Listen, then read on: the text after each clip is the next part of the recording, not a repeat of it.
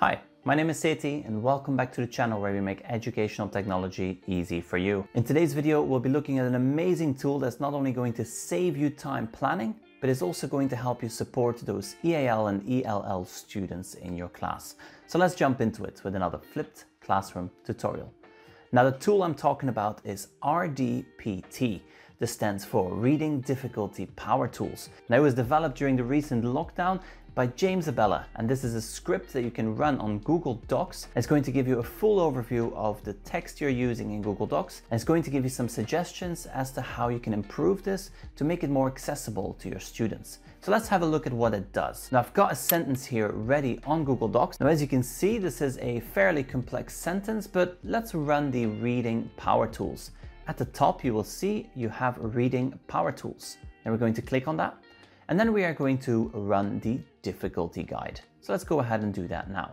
It is running the script and because this is the very first time I'm running it, I'm going to have to authorize it. So let's go ahead and click on continue. You will authorize that with your account. And there we go. It opens up on the side of your Google Doc.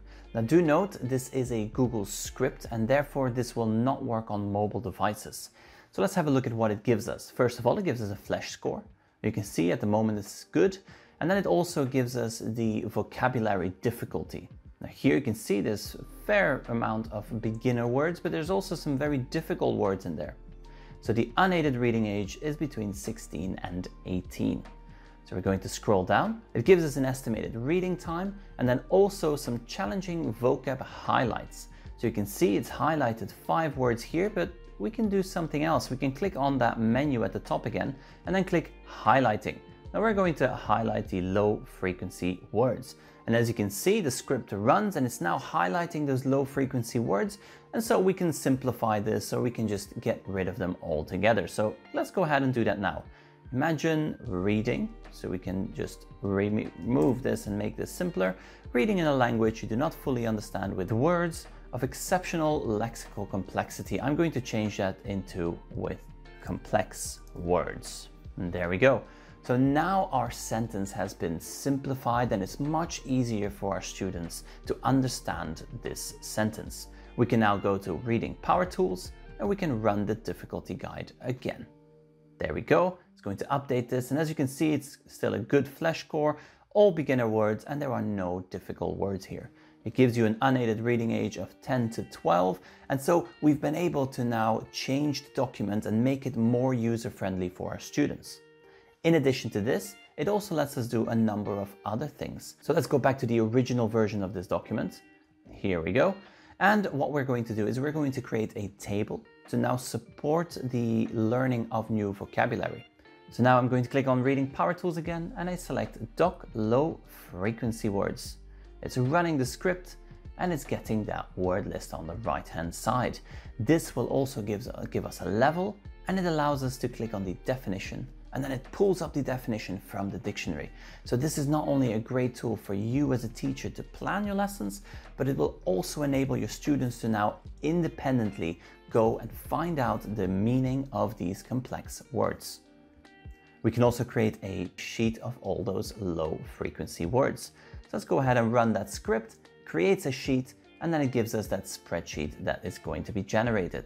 When we go to that spreadsheet, we now have a spreadsheet and this links out to the definition, synonyms, maybe even an image of that word. So here, for example, we have exceptional. We're going to click on definition and this links out to the definition. In addition to that, when I click on synonym, it is going to link out to the page on dictionary.com for synonyms. So this is an incredibly useful tool. It's going to save you so much time planning your lessons. And then finally, let's add in a table inside this document with all those low frequency words. So we're going to go to reading power tools again and then click on add a low frequency word table. This adds in a table in this document. And again, students can make their own notes, but they can also click on these links and it will give them the definition on dictionary.com. So a great tool. Now, if you want to check out this tool, look in the description below or the first pinned comment because there is a Google Sites. Now on that website, you'll have all the information you need to get started with RDPT. Now this is what that website will look like. Now in order for this to run, you'll have to run the script within a Google document. And so this is a script as part of a Google document. And so what you do is you have to scroll down here and find where it says open the beta. So as soon as you click on open beta, it's going to prompt you to make a copy of this document. That means that you will be creating your very own document. So we're going to click on make a copy.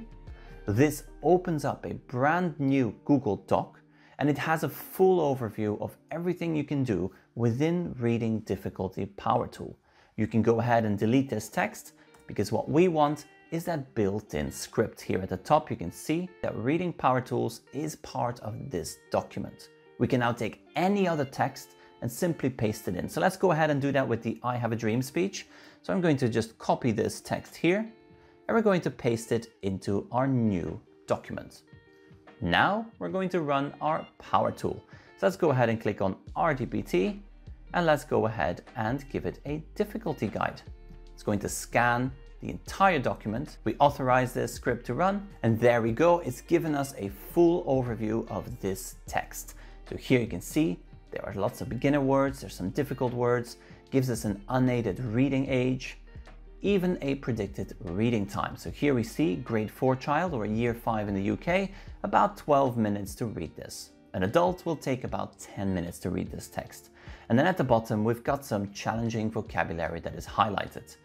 Now at the end of the text, we're going to insert that low frequency word table and that challenging vocabulary is now part of this table and it links out to all the definitions of these words. Now, I hope you found this helpful. If you did, make sure to scroll all the way down, leave a comment, subscribe to that channel. Let me know, are you using this tool? Will you be using it in the future? And what would you like to see added to it? I'd love to hear in that comment section below. In the meantime, thank you for watching and I will see you in the next one.